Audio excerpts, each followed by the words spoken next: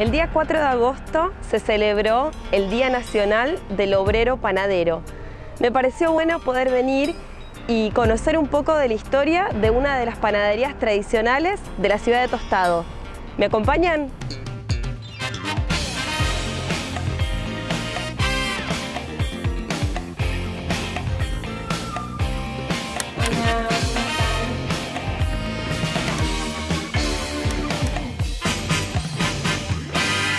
¿Cómo estás Raúl? Hoy vengo a visitarte porque quiero conocer un poco de historia, una panadería tradicional acá en Tostado que siempre tuve la duda de que si le decía Solver o Silvestre, y bueno, me gustaría que me digas cuál es el nombre. Bueno, la panadería se llama La Española. Ah, nada que ver. Bien. Solves es porque es el fundador, Francisco Solves, el que inició la panadería. Ajá, ¿y quién es Francisco? Mi bisabuelo sería. Ah, Bisabuelo. bien. O sea, de la familia. Sí, sí, sí, todo, todo familiar. Bien. ¿Te acordás en qué año? En el 25 se empezamos, en Bien. junio, el 13 de junio del 25. Todo un No en este local, sino en otra esquina que es de Moreno y 12 de octubre. Ahí estuvo tres años hasta que se pasa para acá. Eh, siempre se llamó La Española, Siempre pero tu abuelo de apellido Solves, Solver. sí. ¿Quién la continuó?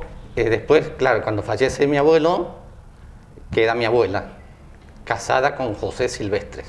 Ok. Ahí cambia el, El el apellido. apellido. Bien. Pero seguimos siendo igual, Solve o Silvestre. O sea, Es vienen a buscarte así. Sí, Perfecto. Eh, Raúl, ¿en qué año empezás vos a trabajar? De Siempre, porque ya hacías? vivíamos acá y, ¿Y qué te tocaba hacer? y de chico me acuerdo que hacíamos los grisines. Antes la mano, se ponía mano en, en las latas. Como muy artesanales eran Sí. antes. ¿Ahora qué tenés? No, Ahora una- es una máquina, con uno solo hace todo. Claro. Y antes éramos todos, mis hermanas, mi mamá. Que esto comenzó como una empresa familiar Sí. y hasta el día de hoy también Y se sigue, mantiene. sí, sí, Sí, ¿Tus hermanas actualmente también están ahora en la panadería? No, no, no, Ya quedaron ustedes están- con tu familia. en otro rubro.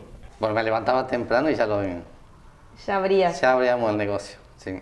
Bien. En ese tiempo, 7 menos cuarto, por ahí.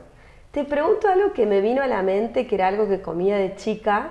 Eh, las caras sucias, es como que tiene la cara sucia de acá, es como que tiene algo diferente a la del resto. Sí, no sé por qué, pero se pide.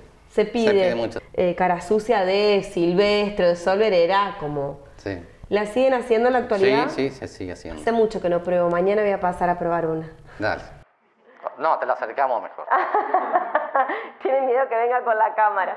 No, ¿Vamos ni- con las chicas? Ni crea, ni crea, ni crea, ni crea. Estoy con Mónica y con Marisol, eh, familia que forman parte de esta panadería. Como me contaba Raúl, trabajaban de chicas. ¿Qué recuerdo tienen? Bueno, nos criamos acá, así que sí, de chicos, cuando más o menos teníamos edad, eh, empezamos a atender al público, a hacer los grisines, como decía Raúl. Ese recuerdo. ¿no? Ese recuerdo no te lo olvidas. Este, sobre todo cuando era verano y queríamos ir a la pileta y no nos dejaban porque teníamos que primero hacer los grisines y después ir, ¿no?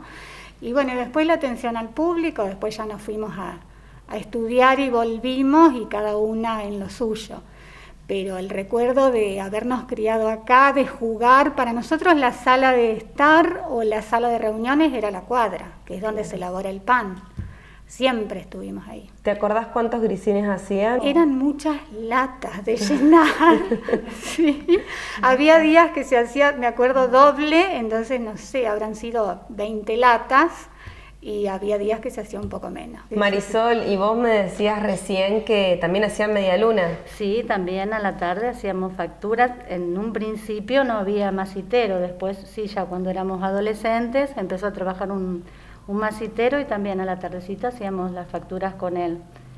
Eh, por la especialidad por de la que hace las masitas y las facturas. Exactamente, y las facturas. Sí, sí. Bien. Antes no, o sea, hacía algo mi mamá, en su momento mi abuela, alguna torta casera, pero no, muchas facturas no se vendían antes. Veía algunas fotos en las cuales había una persona con, creo que era Raúl, no sé si tocando la guitarra, el trabajador, era como que formaba parte de la familia, ¿no? Sí, sí, sí. eh, recordamos mirando las fotos que había tres hermanos, los hermanos Algarve, Ponciano, Mauro y bueno, el famoso Toro Algarve que todos lo conocemos.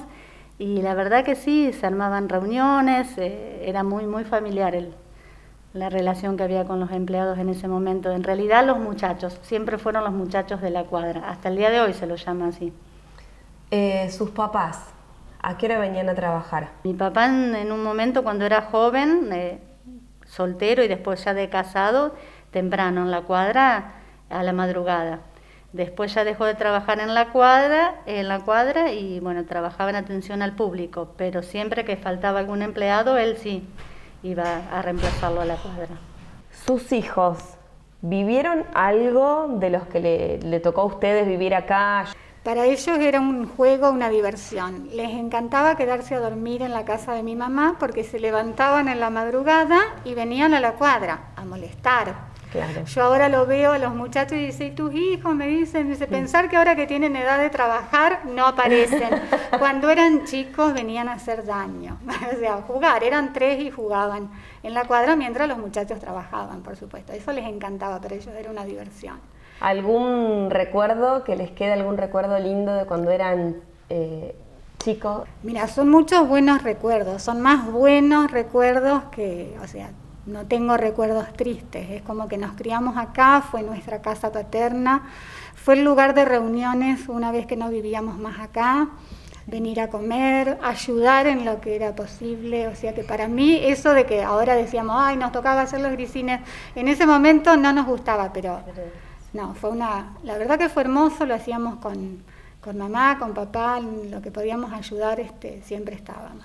Viniendo de Santa Fe de estudiar los fines de semana, que no veníamos seguidos, era levantarnos los sábados a atender la panadería, el disfrutar, siempre el contacto con la gente, eh, siempre la buena atención, la buena respuesta de, la gente hasta el día de hoy, ¿no? Y haberlos visto a nuestros hijos crecer acá, porque ellos venían todos los días. Claro.